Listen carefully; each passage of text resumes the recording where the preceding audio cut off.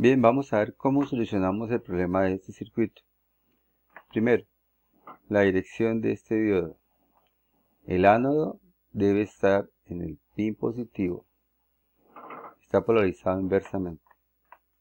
Debemos entonces, primero, cambiar la polaridad de este diodo. Bien, cambiemos la polaridad. Lo conectamos.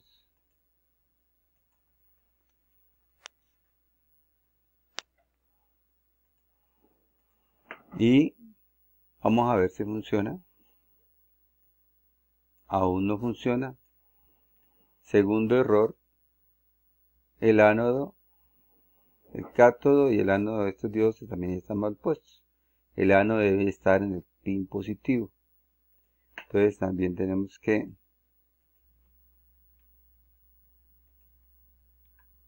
invertir la polaridad.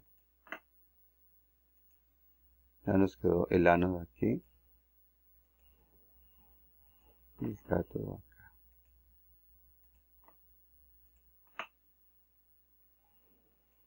Y nuestro circuito ahora sí funciona.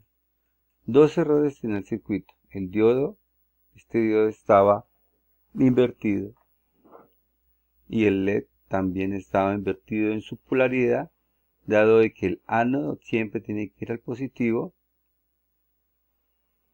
El ánodo va aquí al positivo y el cátodo pues en el otro lado. Esa sería la solución al problema del circuito del video anterior.